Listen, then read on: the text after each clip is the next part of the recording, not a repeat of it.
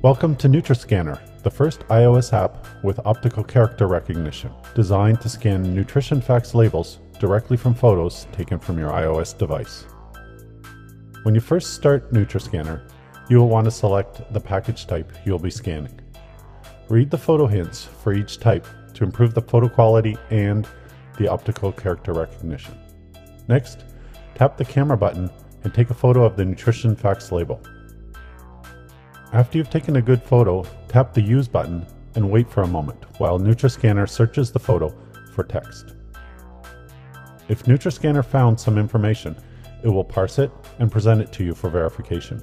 Take a look at the mini indicators to see how well the scan worked. Green means you should review the data, whereas red means you need to enter it manually. Once you've reviewed the data, you can export it by email or directly to BodyPro if you have BodyPro installed. Please take some time to review the other great features of BodyPro by visiting bodypro.com or youtube.com slash bodyprohelp.